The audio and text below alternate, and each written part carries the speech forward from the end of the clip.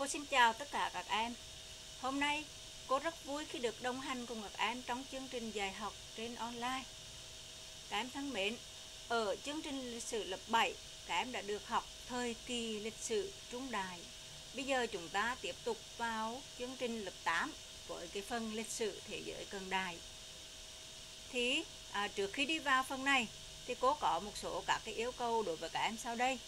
Thứ nhất đó là khi các em học xong bài thì các em phải ghi chép bài đầy đủ vào vở và thực hiện theo những cái yêu cầu cô căn dặn. Thứ hai nữa đó là à, các em lưu ý các cái nội dung mà cô đã hướng dẫn trong bài để chúng ta thực hiện các cái bài tập khi mà cô à, đặt ra. Và phần lịch sử thế giới của lớp 8 của chúng ta trong thời trong học kỳ 1 là chúng ta sẽ học một tuần hai tiết và chúng ta sẽ học phần lịch sử thế giới còn qua học kỳ 2, chúng ta sẽ học một tuần một tiết và chúng ta sẽ học phần lịch sử Việt Nam. Bây giờ cô và các em cùng đi vào à, nội dung đầu tiên, phần 1, lịch sử thế giới. Lịch sử thế giới cận đại từ giữa thế kỷ 16 đến năm 1917. Chương 1, thời kỳ xác lập của chủ nghĩa tư bản từ giữa thế kỷ 16 đến nửa sau thế kỷ 19 Bài 1 Những cuộc cách mạng tư sản đầu tiên. Như vậy cái bài này thì gồm có hai tiết. Và tiết hôm nay, chúng ta sẽ tìm hiểu phần 1 là mã và hai là mã của bài học. Như vậy là phần 1 là mã là sự biến đổi về kinh tế xã hội Tây Âu trong các thế kỷ 16-17 cách mạng Hà Lan. Nội dung phần 2 là mã là cách mạng tư sản Anh thế kỷ 17 và nội dung ba la mã là chiến tranh giành độc lập của các thuộc địa Anh ở Bắc Mỹ. Như vậy, tiết học hôm nay chúng ta sẽ tìm hiểu hai phần, đó là phần 1 La Mã và phần 2 La Mã. Bây giờ chúng ta tìm hiểu phần 1 La Mã, sự biến đổi về kinh tế xã hội Tây Âu trong các thế kỷ 15 đến 17, cách mạng Hà Lan thế kỷ thứ 16. Một nhỏ, một nền sản xuất mới ra đời. Phần này các em có thể tìm hiểu thêm ở trong sách giáo khoa trang 3 và trang 4 bởi vì phần này là theo chương trình giảng tải do đó các em tìm hiểu thêm để chúng ta biết rõ hơn. Các em nhé. Cô Dinh giới thiệu và các em, đây chính là lược đồ Nederland trước khi cách mạng Hà Lan diễn ra. Vậy thì các em hãy dựa vào những cái thông tin ở trong sách giáo khoa trang 4 Em hãy cho có biết nguyên nhân nào dẫn đến cách mạng Hà Lan bùng nổ.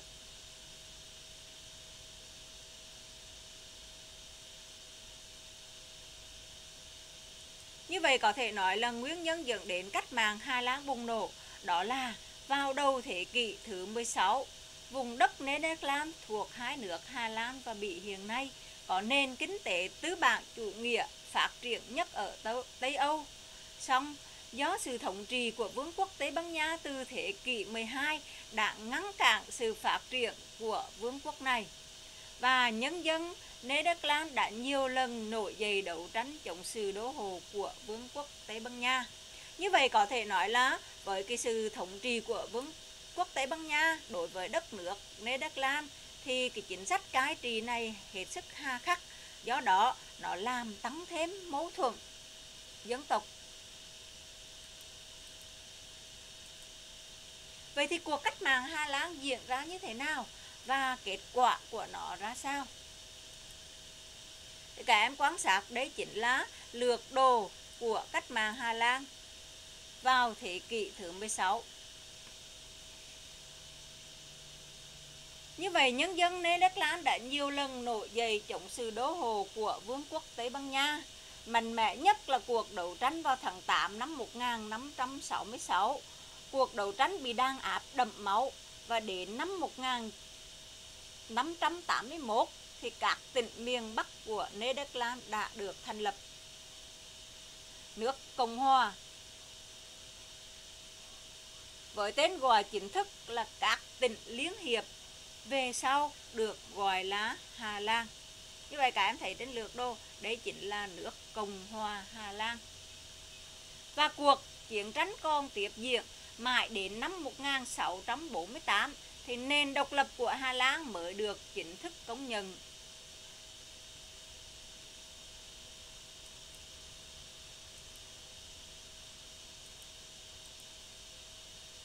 Như vậy phần diễn biến này thì các em lưu ý cho cô những nội dung sau đây. Đỉnh cao là cuộc đấu tranh vào tháng 8 năm 1566 và năm 1581 các tỉnh miền Bắc Nederland đã được thành lập các tỉnh liên hiệp, hay còn gọi là Cộng hòa Hà Lan. Và đến năm 1648 chính quyền Tây Ban Nha công nhận nền độc lập của Hà Lan. Như vậy, Hà Lan đã được giải phóng. Vậy thì cách mạng Hà Lan thắng lợi đã đạt được ý nghĩa như thế nào? Có thể nói, cách mạng Hà Lan được giải phóng là một cuộc cách mạng tứ sản đầu tiên trên thế giới đã lật đổ ách thống trị của thực dân Tây Ban Nha và mở đường tạo điều kiện cho nền kinh tế chủ nghĩa tư bản phát triển. Vậy thì à, các em hãy dựa vào những cái cánh chữ trong sách giáo khoa trang 4 em hãy cho cô biết tại sao nói cách mạng Hà Lan là cuộc cách mạng tư sản đầu tiên trên thế giới.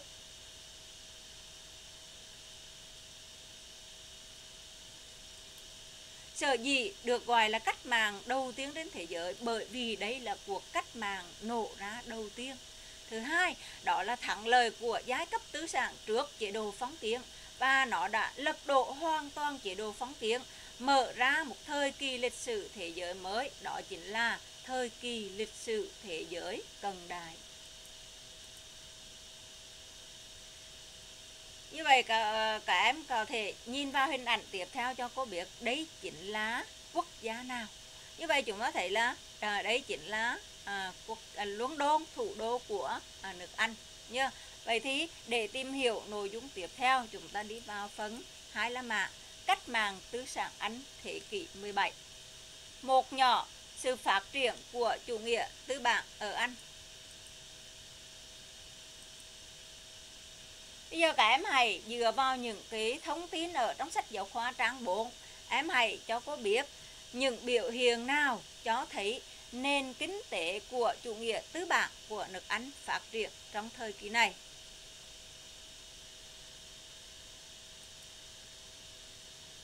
Thì các em thấy đây chính là cái lược đồ của nước Anh. Thì à, trước hết chúng ta thấy rõ trong thời kỳ này thì quan hệ tư bản chủ nghĩa ở nước Anh lớn mạnh hơn cả trước hết là ở miền Đông Nam. Nhiều công trường thủ công luyện kim, cơ khí, làm đồ sứ, dệt len già ra đời, phục vụ cho tiêu dùng trong nước và xuất khẩu sang Hà Lan, Pháp, Đức và Tây Ban Nha. Và nhiều trung tâm công nghiệp lớn về công nghiệp, thương mại, tài chính đã được thành lập và tiêu biểu là London. Ví dụ các em thấy ở trong cái lược đồ này, những cái ký hiệu màu tím đây chính là những cái vùng công thương nghiệp.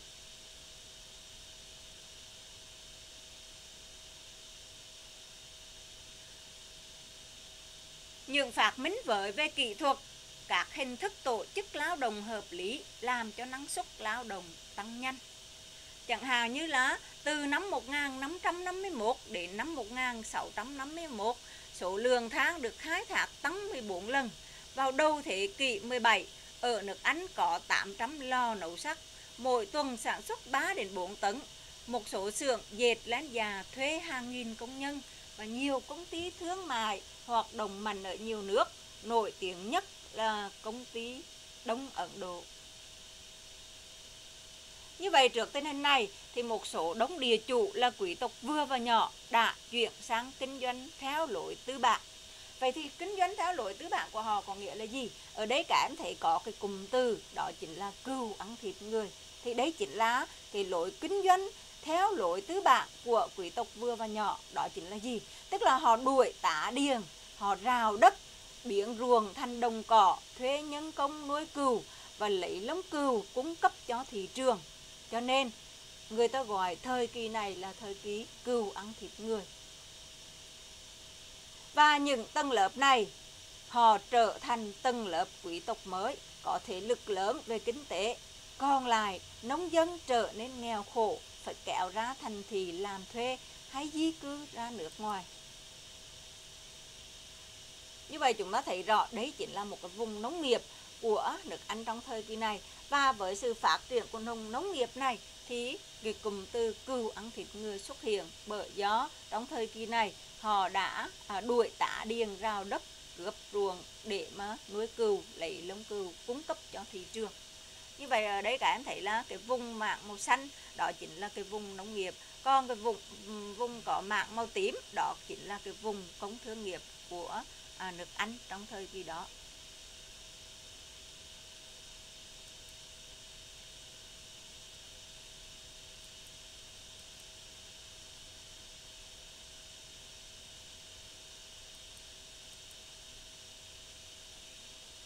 Vậy các em thấy rõ là trong cái hai lượt đô này thì đấy chính là kinh tế nước Anh trước khi cách mạng bùng nổ. Còn ở phần bên này là diễn biến của cách mạng tư sản Anh. Vậy thì có thể nói là với sự thay đổi về kinh tế, những mâu thuẫn gay gắt giữa tứ sản quý tộc mới với chế độ quân chủ chuyên chế bên cạnh mâu thuẫn cũ giữa nông dân với địa chủ và quý tộc đã dẫn tới một cuộc cách mạng để lật đổ chế độ phóng kiến, xác lập một quan hệ mới, đó chính là quan hệ sản xuất tư bản chủ nghĩa. Vậy thì nhờ đâu mà nền kinh tế của nước Anh phát triển như thế? Thứ nhất, đó chính là có nhiều phát minh mới về kỹ thuật, hình thức tổ chức lao động hợp lý. Chẳng hạn như các em thấy là từ năm 1551 đến năm 1651, số lượng than được khai thác tăng 14 lần. Vào đầu thế kỷ 17, nước Anh có 80 lò nấu sắt, mỗi tuần sản xuất từ 3 đến 4 tấn. Một số xưởng dệt lén già dạ thuê hàng nghìn công nhân. Nhiều công ty thương mại hoạt động mạnh ở nhiều nước, nổi tiếng nhất là công ty Đông Ấn Độ. Như vậy những cái con số trên chứng tỏ điều gì?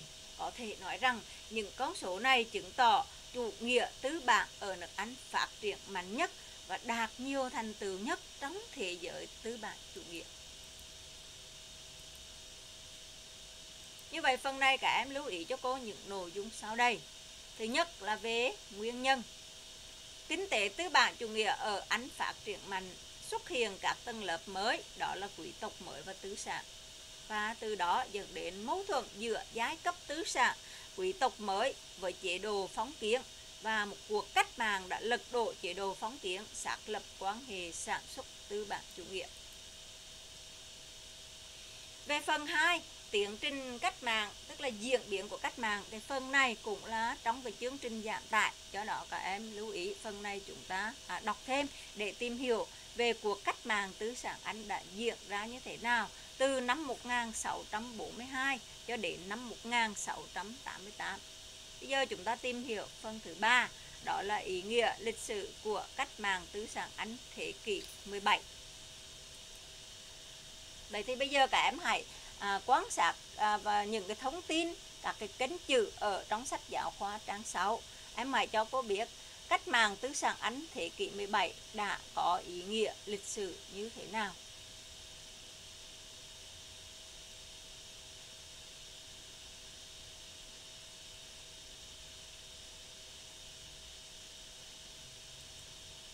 Có thể nói rằng cuộc cách mạng tư sản Anh đã thành công chủ yếu là vì được quần chúng ủng hộ và tham gia đấu tranh. Cách mạng tứ sản Anh do tầng lớp quý tộc mới và giai cấp tứ sản lãnh, lãnh đạo được đông đảo quần chúng nhân dân ủng hộ đã giành được thắng lợi và đưa nước Anh phát triển theo con đường tư bản chủ nghĩa. Tuy nhiên, có thể nói cuộc cách mạng Anh là một cuộc cách mạng tứ sản không triệt để Vậy thì vì sao nói cách mạng tư sản Anh là cuộc cách mạng tư sản nhưng mà nó không triệt để? Cái cụm từ không triệt để này nó thể hiện điều gì? Thứ nhất, đó là vì vẫn còn ngôi vua.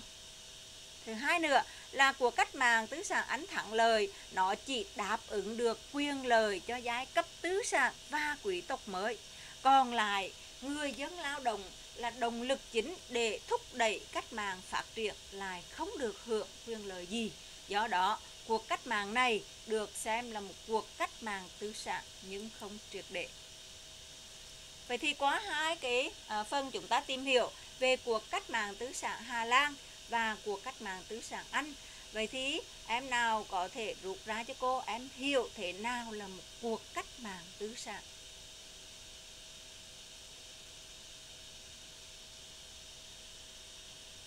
Vậy thì để hiểu được thế nào là một cuộc cách mạng tứ sản, các em phải trả lời cho được những cái nội dung sau đây. Thứ nhất, đó là cuộc cách mạng đó đã lật đổ chế độ nào. Cái thứ hai, đó là cuộc cách mạng này do ai lãnh đạo, do giai cấp nào lãnh đạo. Và thứ ba, đó chính là cuộc cách mạng này nó đã tạo điều kiện cho một nền kinh tế nào phát triển trong thời kỳ đó. Và để trả lời cho ba vấn đề này thì các em hãy nhớ lại những cái nội dung mà cô và các em đã tìm hiểu qua hai cuộc cách mạng đó là cách mạng tứ sản Hà Lan và cách mạng tứ sản Anh. Vậy thì cuộc cách mạng này đã lật đổ chế độ nào? Bây giờ chúng ta sẽ tìm hiểu từng phần. Đó chính là cuộc cách mạng này nó đã lật đổ được chế độ phong kiến. Như vậy chế độ phong kiến ở nước Anh nó không còn nữa. Thứ hai, đó là cuộc cách mạng này do một giai cấp tiến tiến lãnh đạo, đó chính là giai cấp tư sản. Và cuộc cách mạng này nó không những lật đổ chế độ phong kiến mà nó còn tạo điều kiện cho một nền kinh tế mới phát triển trong giai đoạn đó chính là nền kinh tế tư bản chủ nghĩa. Như vậy qua phần này thì các em lưu ý cho cô về cách mạng tư sản có à, bốn à, cái nội dung mà chúng ta cần phải hướng tới. Thứ nhất đó là nhiều mục tiêu nhiệm vụ đề ra của cách mạng tư sản. Thứ hai đó là cái động lực để dẫn đến cuộc cách mạng tứ sản này diễn ra và thứ ba đó là cách mạng tứ sản này diễn ra là do giai cấp nào lãnh đạo và thứ tư đó là cuộc cách mạng này đã đạt được kết quả như thế nào? Như vậy chúng ta thấy rằng cái mục tiêu nhiệm vụ của cuộc cách mạng tứ sản đó chính là gì? Đó chính là lập đổ cho được chế độ phóng phóng kiến thứ hai là lãnh đạo của cuộc cách mạng tứ sản đó chính là giai cấp nào? À, đó chính là giai cấp tứ sản.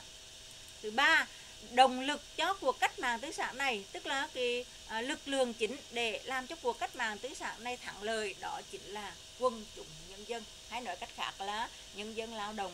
Và kết quả đạt được của cách mạng tứ sản đó chính là gì? Đó chính là nó đã à, đưa một nền kinh tế mới phát triển trong à, nước Hà Lan. Đó chính là phát triển nền kinh tế tứ bản chủ nghĩa như vậy là cô và các em đã vừa tìm hiểu xong à, tiết đầu tiên của bài 1 như vậy với bài phần này thì các em lưu ý cho cô các em phải ghi chép bài đầy đủ vào vở học và ôn tập các cái nội dung của bài học. Thứ hai là các em tiếp tục tìm hiểu phần còn lại của bài 1 những cuộc cách mạng tứ sản đầu tiên. Như vậy tiết học của chúng ta đến đây đã kết thúc. Cô xin chào và hẹn gặp lại tất cả các em.